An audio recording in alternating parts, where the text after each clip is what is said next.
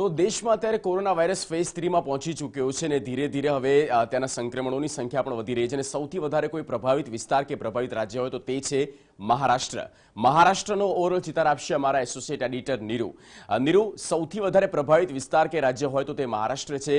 લોકડાઉનની પહેલા સરકારે અગમચેતીના ભાગરૂપે ચાર મહાનગરોને લોકડાઉન કરી દીધા હતા અને તેમાં મુંબઈ પણ બાકાત નહોતું. અત્યારે ઓવરઓલ ક્યાં કેટલા કેસ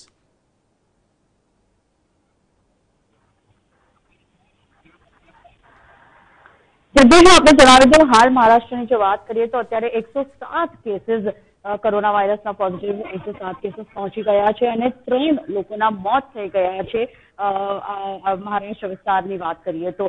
ખાસ કરીને આપણે જણાવી દઉં કે હાલ જે એક મોટા મહત્વપૂર્ણ સમાચાર આવી રહ્યા છે, તે છે નવી મુંબઈથી. નવી મુંબઈની એક મસ્જિદના જે મૌલાના હતા, તેમને કોરોના પોઝિટિવ જે છે તેમનું ટેસ્ટ કોરોના પોઝિટિવ આવ્યું છે. તેમને લઈ જવામાં આવ્યા છે કસ્તુરબા હોસ્પિટલ, જે પ્રોપર મુંબઈમાં છે. તે ત્રણ ફિલિપિન્સના સંપર્કમાં હતા. આ ત્રણેય જે ફિલિપિન્સ છે એટલે કે વિદેશી નાગરિક છે આ લોકો, અને તેઓ છેલ્લા બે, ત્રણ દિવસથી મસ્જિદમાં જઈ રહ્યા હતા. કયા કારણો કયા કારણોસર તેની તપાસ હાલ પોલીસ કરી રહી છે? પણ મોલાના છેલ્લા અમુક દિવસોમાં કોના કોના સંપર્કમાં આવ્યા હતા? અને કેટલા લોકો ત્યાં નમાઝ પડવા નમાઝ વાંચવા માટે ત્યાં ગયા હતા. તેની તમામ અત્યારે ઇન્વેસ્ટિગેશન પોલીસ કરી રહી છે. પણ આ એક ખૂબ જ મોટો અને મહત્વપૂર્ણ કેસ સામે આવ્યો છે કે નવી મુંબઈના એક મસ્જિદના મૌલાનાને કોરોના પોઝિટિવ જે છે તે આવ્યું છે.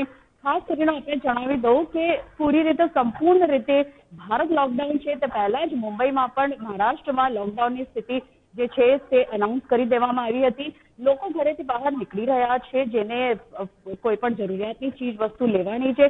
પણ એવું પણ જોવામાં આવ્યું છે કે જેને કોઈ જરૂરની વસ્તુ નથી લેવાની, કોઈ કામકાજ વિના પણ લોકો ઘરેથી બહાર આવી રહ્યા છે. આવા લોકોને પોલીસ પાઠ ભણાવી રહી છે.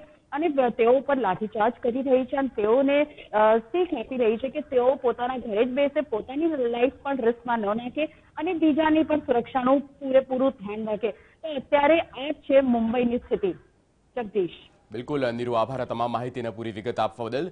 તો મુંબઈ સહિત મહારાષ્ટ્રમાં અત્યારે કોરોના વાયરસના સંક્રમણોની જે સંખ્યા છે તે વધી રહી છે. સંક્રમિત લોકોની સંખ્યામાં વધારો થઈ રહ્યો છે. એકવીસ દિવસનું જે લોકડાઉન આપવામાં આવ્યું છે, સૌ કોઈને અપીલ કરવામાં આવી રહી છે કે આ અપ- અપીલની સાથે તેમાં કહેવામાં આવી રહ્યું છે કે સૌ કોઈ તેમાં સહભાગી બને અને સહયોગ પણ આપે.